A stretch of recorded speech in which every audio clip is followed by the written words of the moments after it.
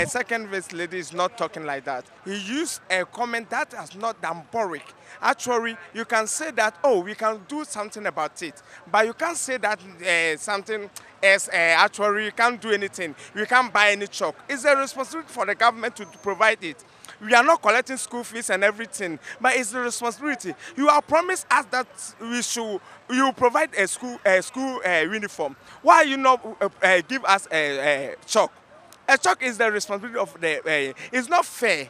You should uh, sack her crying his husband, her husband from it.